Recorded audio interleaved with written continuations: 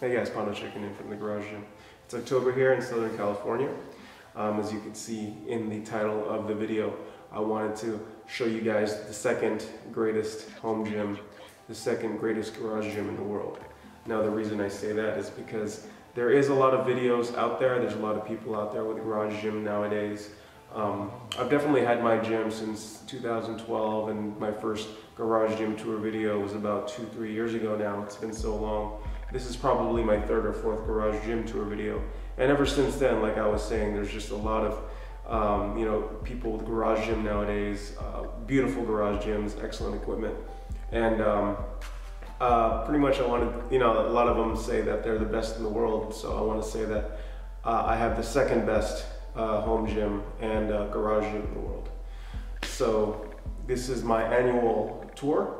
Um, I wanted to kind of show you guys my expression, my personal expression of what I believe is um, a really good gym, things to have, and uh, the equipment that I do have now, and the equipment that I, you know, kind of evolved from, and the things that I really want to do with it in the future. And just some recommendations on how you guys can have uh, the best gym, uh, you know, for, for your purposes. All right, guys, so enjoy.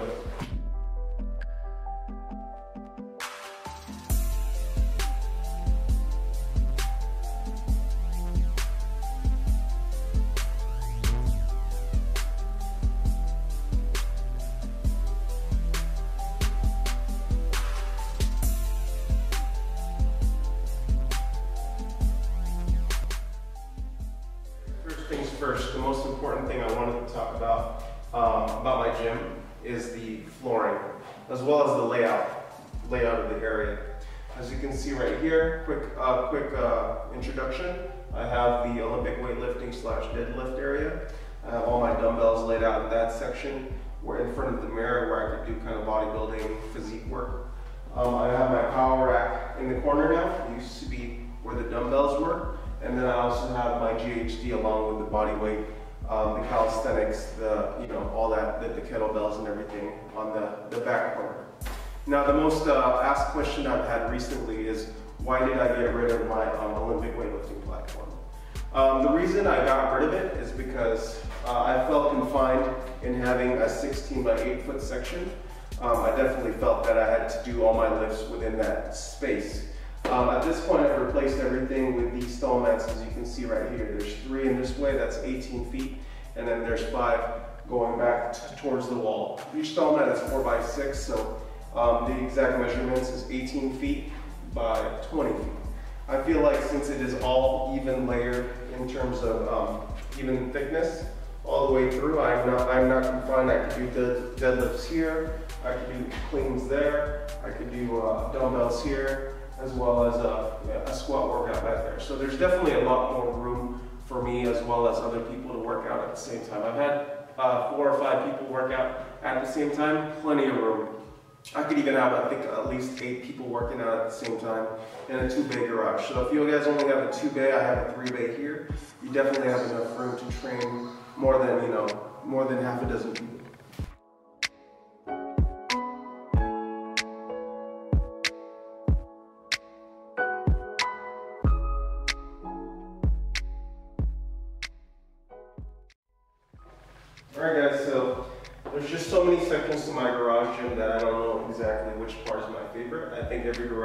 Definitely needs some sort of free weight section.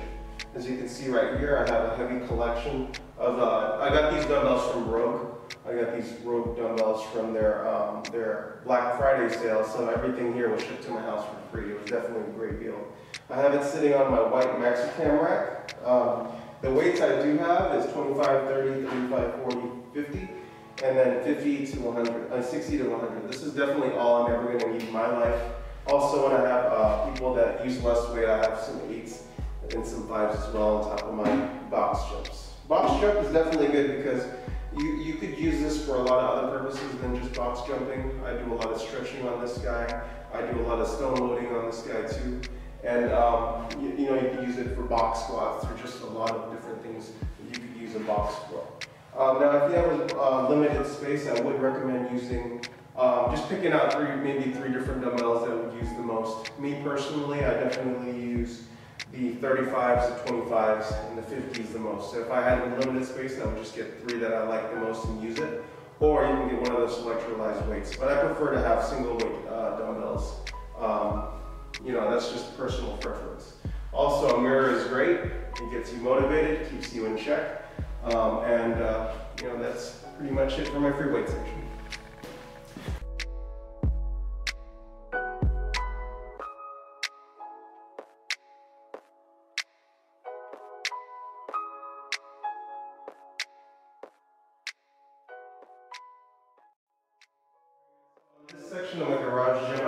Consider this my uh, core work area.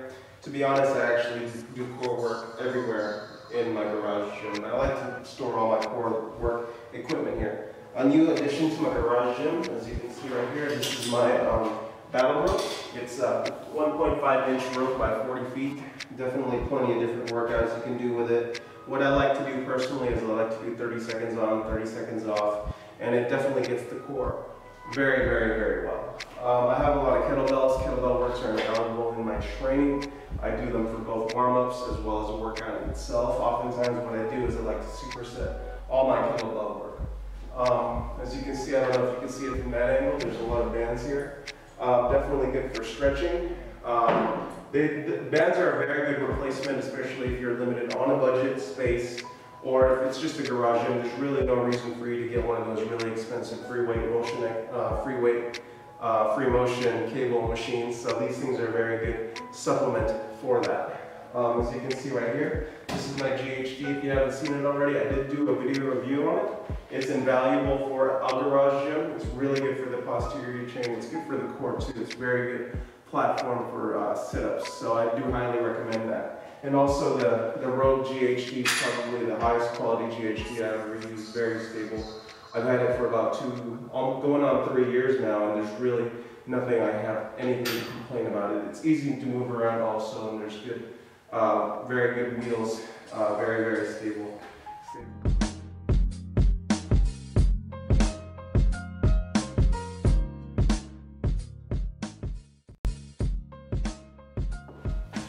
Stable. Alright guys, so as you can see right here, this is my Rogue 6 bar gun rack.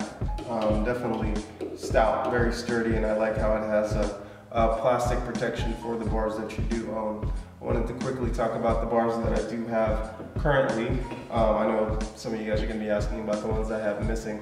Anyways, the first one I do have, I use it quite frequently, not necessarily on video because I think it's boring to watch but it's my curl bar. Um, you know, it's very good for curling as well as a lot of tricep work. Uh, both I need to do more of.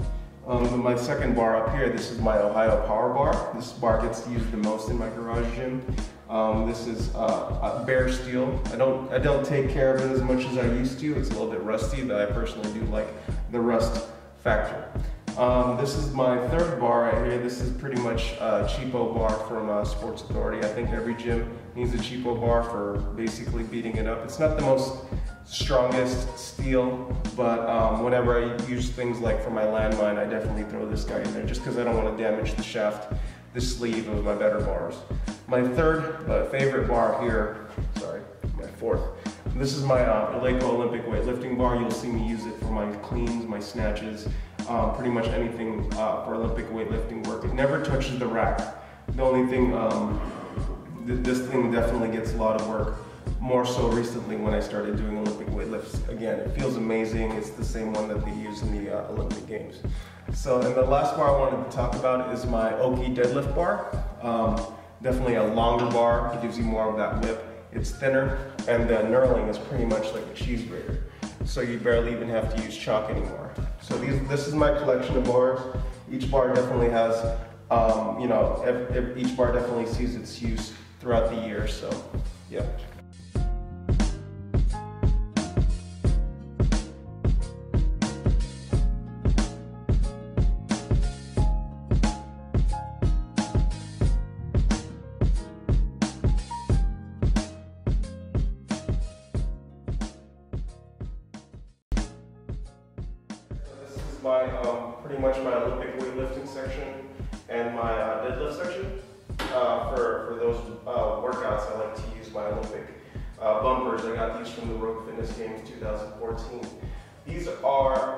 Favorite bumpers that I've had so far. Granted, I've only had um, uh, the Hi-Temps, the Pendlays, and this is my third set. This is the CrossFit ones.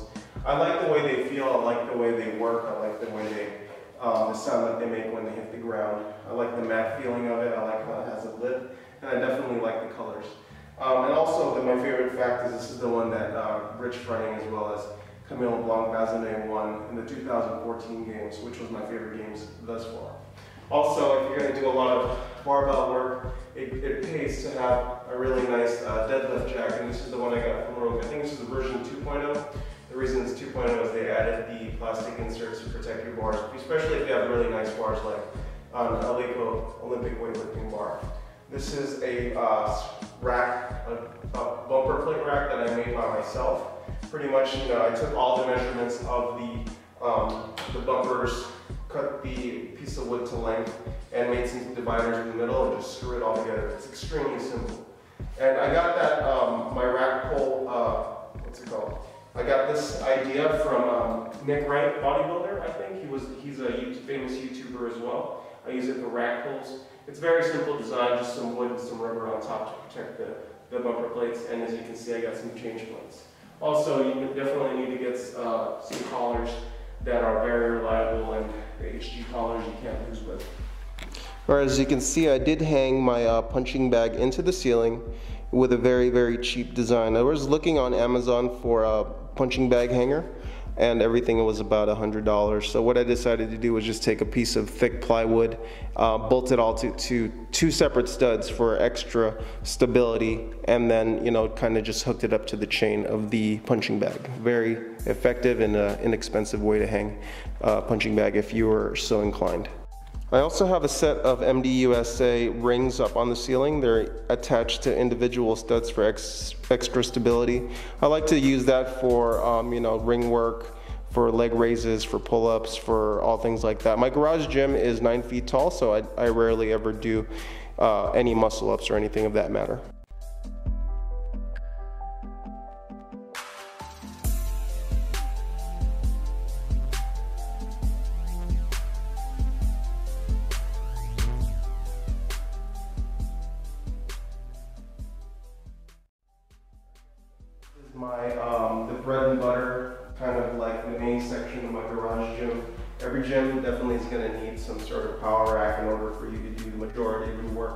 Your strength work, your free weight work, and somewhere to be safe. Um, I've done a review on this as well. It's something that I've had. It's very near and dear to me. This is the Rogue uh, RM6 version 1.0. I like the version 1.0 a lot better than new ones that they've been coming out recently just because I like the matte black finish.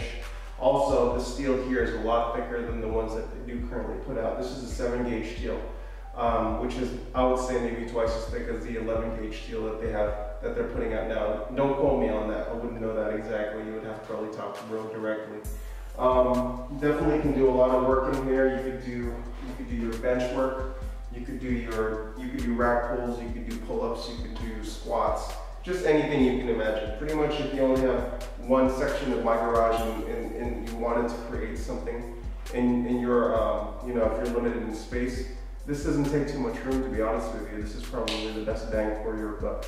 Um, so the measurements of my uh, rack, um, they're a little bit different than the ones that you would see online. I had Rogue cut it down. I had make it a, as narrow as possible. Not, not, not narrow, but as uh, not as deep as the ones that they sell out originally.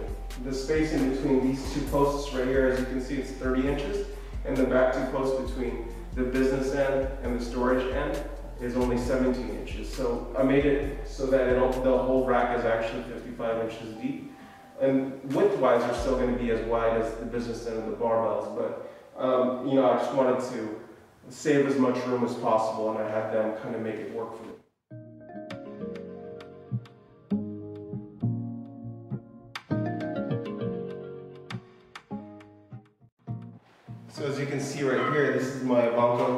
Think it's OMEZH plates. I have one, two, three, four, five, six. Wow, I have six 45s. I have a 35, a 25, a couple 10s, 5s, and 2 and a halves. These are definitely one of my favorite parts of my gym.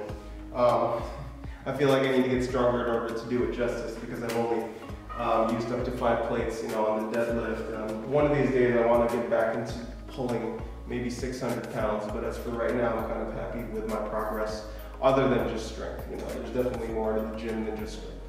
Um, as you can see right here, this is my uh, monolift attachment. It's an amazing piece of equipment. It's great. It's very good if you're a power lifter. If you want to get stronger, um, it's really good for the handoffs as well on the bench press. And uh, I also did, if you are so inclined to watch my review video of it, it's probably in the uh, review section down below. And um, as you can see right here, I got some, some chains. Those are 50 pounds a piece. Um, so total will be 100 pounds on the bar. As you can see right here, these are my Sorinex safety straps. Um, I got this way before uh, Rogue finally came out with their adjustable, quick adjustable straps. I love them because of, first of all, the color. Red is obviously my favorite color, if you can't tell. Um, and also they're very easy to adjust. So it probably takes maybe less than a minute to adjust it from squatting to benching to rack pull. So it's very simple, very easy. Also, as you can see right here, I have I did a review on that if you want to watch that and um, it connects to the, to the base of the, the squat rack. Very stable platform, tons of different workouts. An element to my garage gym, a recurring theme, is that everything I have in here has a lot of different purposes. Um, a great example that, that would be would be the, uh, the landmine itself. There's just literally every muscle group in your body. You could work out a landmine, you can work out legs, you can work out arms, core, back, chest, anything. Landmine will definitely do it for you. So the thing about it also, I want to go on a quick tangent, is make sure everything you have in your garage gym has more than just one purpose. Um, another thing I want to talk about is my bench. The best bench in the world, in my opinion. It's a Rogue Fitness AB2. I love Rogue Fitness products. Everything that they put out is definitely high quality, and you definitely get what you pay for. I also have a review on that. There's another quick section. I have my definitely have my weightlifting shoes here. These are my favorite, probably most used. This is my Adipowers from um, Adidas. Um, I also have a lot of the light TRs. Uh, I have some Nano Metcons. Um, uh, Reebok Nanos as well. Reebok Nanos are probably my favorite CrossFit shoe, but the, uh, the Metcons are a close second. I also have a bucket here with a lot of stuff that um, that would be you know difficult to classify. There's a there's an ab roller, there's a rumble roller.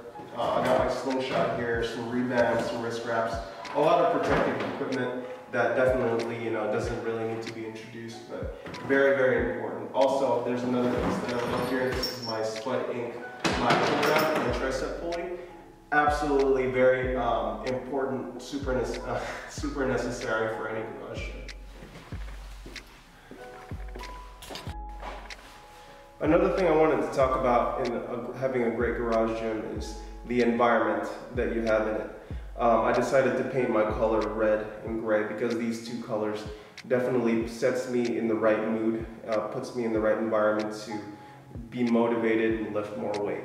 It's, it looks better than just, you know, plain white. Some people like white though. Some people like green, some people like blue, but for me, red and gray definitely works. I also have several uh, posters and uh, American flag and things like that. Like I said, it's all about the environment.